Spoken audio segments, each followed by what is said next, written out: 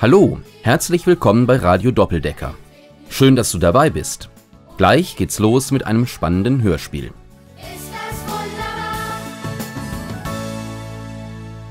Die kühle Morgenluft lässt Anne frösteln.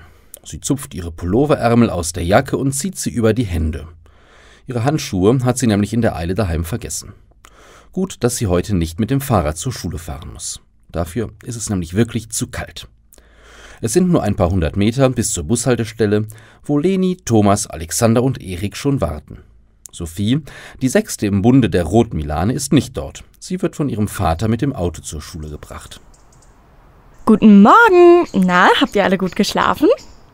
Geht so. Es sollte verboten werden, Kinder so früh zu wecken, wenn es dann auch noch so kalt ist wie jetzt. Beschwer dich nicht, du bist wenigstens von deiner Mama geweckt. Bei mir kommt Alexander rein und schmeißt sich voll auf mich drauf. Na, jetzt übertreib aber mal nicht. Das war nur heute. Hört mal lieber auf zu streiten. Da kommt schon der Bus.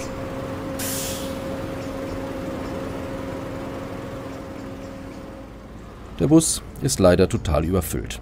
Deshalb sind für die fünf keine Sitzplätze mehr frei. Wie die anderen auch, sucht Anne sich etwas zum Festhalten, damit sie in den Kurven nicht der Fliehkraft zum Opfer fällt.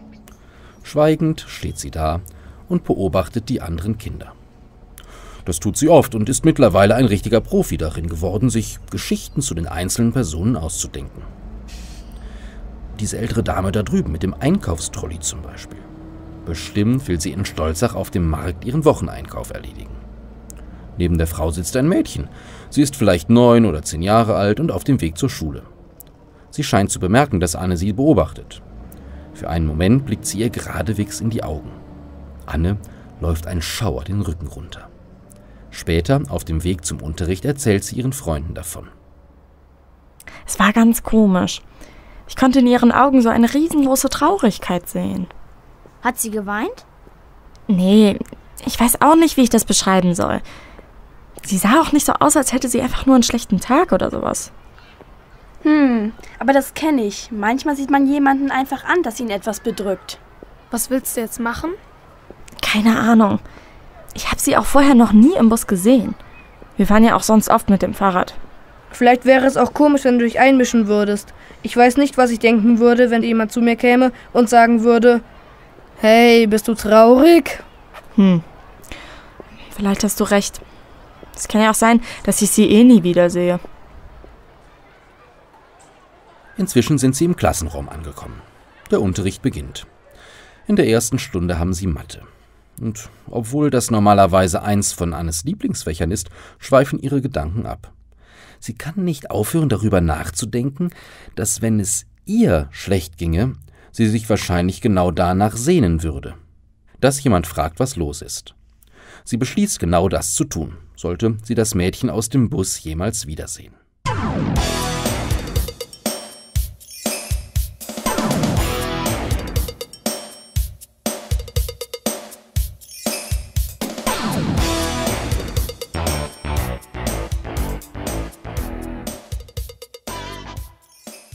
Seitdem sind ein paar Tage vergangen und das Mädchen aus dem Bus ist in Rot-Milanen längst in Vergessenheit geraten.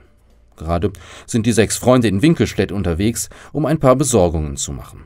Thomas und Erik wollen sich die neuen Bausätze für Modellflugzeuge ansehen, um zu überlegen, für welches Meisterwerk sie als nächstes sparen. Alexander und Sophie wollen sich in der Bibliothek ein paar neue Bücher ausleihen. Zunächst steht der Spielzeugladen auf dem Tagesplan. Oh, guck mal, Thomas, was hältst du von diesem Kampfflugzeug? Hm, ich weiß nicht. Mein letztes Flugzeug sah so ähnlich aus. Während die beiden sich so in ihren Fachsimpeleien verlieren, sehen sich die anderen Milane in dem Laden um. Dort gibt's echt immer Neues zu entdecken. Weil Thomas und Erik sich lange nicht entscheiden können, verbringen die Kinder eine Weile in dem Geschäft, während andere Kunden kommen und gehen. Hast du gesehen, wer da gerade reingekommen ist? Hey, nee, wieso? Warum flüsterst du? Ich glaube, das ist das Mädchen aus dem Bus. Oh, äh, bist du sicher? Nee, keine Ahnung. Schau du mal. Anne guckt unauffällig in die Richtung, in die Alexander gedeutet hat. Sie muss nicht lange überlegen. Dort vor dem Regal mit Zirkusspielzeug steht eindeutig das traurige Mädchen aus dem Bus. Kurz entschlossen geht Anne auf sie zu. Hey, ich heiße Anne. Ich habe dich letztens im Bus gesehen und habe gemerkt, dass du traurig warst. Magst du darüber reden? Vielleicht kann ich dir ja helfen. Das Mädchen guckt ziemlich verdattert. So etwas ist ihr noch nie passiert. Dann blickt sie Anne an, stellt sich mit Lia vor, bedankt sich und fragt, warum sie so nett zu ihr ist. Äh, ich weiß auch nicht. Ich glaube, weil ich es schön fände, wenn mich auch jemand fragen würde, wenn ich traurig wäre. Manchmal hilft es auch schon, wenn man einfach nur mit jemandem darüber sprechen kann. Willst du das? Lia zuckt mit den Schultern. Dann nickt sie. In einer Ecke des Ladens steht ein Sofa, auf das sie sich setzen. Und dann beginnt Lia zu erzählen. Sie wohnt erst seit zwei Wochen in Winkelstedt und hat hier neue Eltern bekommen. Vorher hat sie in Stolzach gewohnt, im Kinderheim. Und jetzt lebt sie bei einer Familie, die sie aufgenommen hat. Lia erzählt, dass sie schon als Baby ins Kinderheim gekommen ist. In ihrer neuen Familie gibt es noch zwei andere Kinder. Der Junge hatte letzte Woche Geburtstag und darum war sie so traurig. Aber wieso das denn? Geburtstag ist doch was Schönes. Ja, aber anscheinend nicht für Lia. Ihr kommen die Tränen, sie beißt sich auf die Unterlippe und beginnt zu zittern. Hey, wein doch nicht. Erklär mir doch, warum du deshalb traurig bist. Lia nickt tapfer. Als sie im Kinderheim abgegeben wurde, haben ihre richtigen Eltern sie einfach vor der Tür abgelegt. Deshalb wusste keiner, wie sie heißt oder wie alt sie war. Ihr Geburtstag war dann immer an dem Tag, an dem sie gefunden wurde, am 13. März. Aber das ist natürlich nicht wirklich ihr Geburtstag, denn da war sie ja schon ein paar Wochen alt. Oh, das kann ich gut verstehen, dass du traurig warst. Dass du bestimmt in den letzten Tagen viel drüber nachgedacht, oder? Lia ist ganz unsicher. Sie weiß, dass sich das komisch anhört, aber wenn keiner dabei war, weiß ja eigentlich niemand, ob sie überhaupt geboren wurde. Und sie selbst erinnert sich natürlich auch nicht daran. Anne sieht sie stirnrunzelnd an. Denkt Lia das wirklich? Dass es sie nicht gibt, weil sie nicht weiß, wann sie geboren wurde? Sie lebt doch, also muss sie doch auch geboren worden sein. Das ist doch schließlich die Hauptsache. Anne weiß nicht so ganz, was sie ihr sagen soll. Aber sie bietet ihr an, für sie da zu sein, sollte sie noch mal jemandem zum Zuhören brauchen.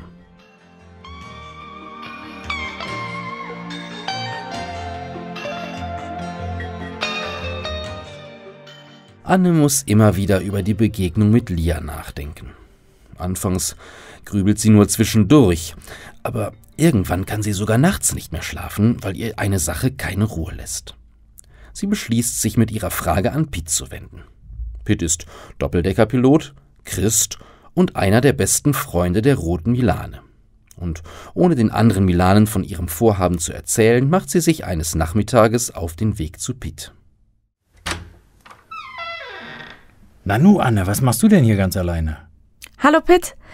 Äh, hast du vielleicht kurz Zeit? Ich muss dich mal was Wichtiges fragen. Ja, sicher, komm rein. Pitt, äh, bin ich auch Gottes Kind, wenn ich mich nicht an den Zeitpunkt erinnern kann, an dem ich mich für ihn entschieden habe? Pitt ist ein bisschen erstaunt. Mit dieser Frage hatte er nicht gerechnet. Er sagt zunächst gar nichts, um eine Zeit zu geben, ihm zu erklären, wie sie zu dieser Frage kommt. Hm, weißt du, ich habe dieses Mädchen getroffen, Lia. Sie ist neu in der Stadt und sie ist mir aufgefallen, weil sie so furchtbar traurig aussah. Ähm, ja, jedenfalls habe ich dann mit ihr geredet und sie hat mir erzählt, dass sie im Kinderheim aufgewachsen ist. Sie wurde als kleines Baby dort abgegeben. Und sie war so traurig, weil sie keinen Geburtstag hat. Und keiner weiß, wann sie wirklich geboren wurde. Und dann hat sie noch gesagt, manchmal überlege ich dann, ob ich überhaupt geboren wurde. Darüber habe ich seitdem nachgedacht. Du hast uns so oft erklärt, wie man Gottes Kind wird, dass man verstehen muss, was es bedeutet, dass Jesus am Kreuz für unsere Sünden gestorben ist und dass man das Geschenk nur annehmen muss. Ich bin einfach immer davon ausgegangen, dass ich dazugehöre. Aber? Aber ich kann mich nicht an diesen einen Moment erinnern, an dem ich dieses Gebet gesprochen habe. Aber ich glaube an Jesus. Ich weiß auch, dass er mir meine Schuld vergeben hat. Reicht das? Ah, ich kann gut nachvollziehen, wieso dich dieser Gedanke bedrückt. Manchmal bekommt man das Gefühl, dass es bestimmte Vorgaben gibt, die man einhalten muss, um von Gott errettet zu werden. Ah, zum Beispiel, dass man ein bestimmtes Gebet sprechen muss oder dass man das nur an einem bestimmten Ort tun kann. Dabei kommt es immer auf deine Einstellung an. Hm, ich glaube, ich verstehe, was du meinst. Aber was ist denn jetzt richtig? Bin ich ein Kind Gottes? Muss ich noch irgendwas machen, damit meine Entscheidung gültig ist? Weißt du was, wenn ich dir das jetzt mit meinen eigenen Worten erkläre, dann wird das sicher ein ziemliches Durcheinander. Am besten lassen wir es den erklären, der sich dieses Wunder, dass wir seine Kinder sein dürfen, ausgedacht hat. Gott? Na sicher. Pete steht auf, geht ins Wohnzimmer und kommt mit seiner dicken Bibel zurück. Dann schenkt er Anne und sich noch ein bisschen Tee nach, setzt sich und hält inne. Bevor wir nachlesen, was Gott dazu sagt, sollten wir noch beten. Sie neigen ihre Köpfe und Pete beginnt mit seinem Vater zu sprechen. Dann sagt er, Jetzt zeige ich dir ein paar Bibelverse, durch die, glaube ich, ziemlich schnell deutlich wird, ob deine Bedenken berechtigt sind oder nicht. Also das, was man tun muss, um ein Kind Gottes zu werden? Genau. Fangen wir mit Johannes 1, Vers 12 an. Hier, lies doch mal vor. Doch allen, die ihn aufnahmen, die an seinen Namen glaubten, gab er das Recht, Kinder Gottes zu werden. Danke. So, dann noch Apostelgeschichte 16, Vers 31. Glaube an Jesus, den Herrn, dann wirst du gerettet werden. Mhm. Und der nächste steht in Römer 10, Vers 9. Wenn du mit deinem Mund bekennst, dass Jesus der Herr ist und in deinem Herzen glaubst, dass Gott ihn aus den Toten auferweckt hat, wirst du gerettet werden. Okay, so. Und jetzt noch der letzte Vers für heute, Johannes 3, Vers 16. Denn so hat Gott der Welt seine Liebe gezeigt, er gab seinen einzigen Sohn dafür, dass jeder, der an ihn glaubt, nicht ins Verderben geht, sondern ewiges Leben hat. Jetzt, wo sie es selbst ausgesprochen hat, wird sie ganz nachdenklich. Pitt sieht sie eindringlich an. Merkst du, was diese Verse alle gemeinsam haben? Was ist die einzige Bedingung, Anne? Zu glauben. Tust du das, Anne? Ja, schon lange. In keinem dieser Verse stand, dass es einen bestimmten Zeitpunkt oder ein bestimmtes Gebet braucht. Wenn du erkennst, dass du ein Sünder bist und Jesus glaubst, dass er für deine Schuld bezahlt hat, dann bist du ein Kind Gottes. Natürlich bringt man das irgendwann auch dankbar im Gebet zum Ausdruck, aber hier lesen wir erstmal nur vom Glauben. Ah, und noch was. Lia zweifelt doch nicht daran, dass sie lebt, oder? Das sieht man ja schließlich. Und obwohl sie nicht weiß, wann genau sie geboren wurde. Entscheidend ist doch, dass sie geboren wurde und nicht wann. So ist es auch mit dir. Du darfst wissen, dass du Gottes Kind bist, wenn du ihm glaubst, selbst wenn du nicht mehr genau weißt, wann du das mit ihm festgemacht hast. Anne fällt ein riesiger Stein vom Herzen. Am liebsten würde sie Pitt um den Hals fallen. Sie grinst von einem Ohr zum anderen und kann ihre Freude kaum zügeln. Sie ist ein Kind Gottes. All ihr Zweifel war unbegründet. Gemeinsam danken die beiden Gott für seine Liebe und dafür, dass sie seine Kinder sein dürfen. Dann geht Anne überglücklich nach Hause. Bist du schon ein Kind Gottes? Glaubst du so wie Anne und Piet an das, was Jesus am Kreuz für dich getan hat? Wenn du dir nicht sicher bist, lass nicht eher nach, bis du ganz sicher weißt, dass du zu Gottes Familie gehörst.